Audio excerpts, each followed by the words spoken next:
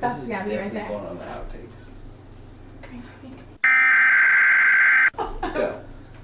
Hey, it's your girl Presh. Make sure you turn to next Sunday's episode of All Cap and No Drip, where I take over Carmine Keith's job.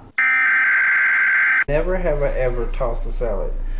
Never have I ever give oral sex in a public place. That moment, he's like, I just wanted to take your phone and I want to throw it into the water in the pond. Hey, it's your girl Presh. Make sure to tune in for next Sunday's episode for No Cap and All Drip, where I take over for Carmine Keith.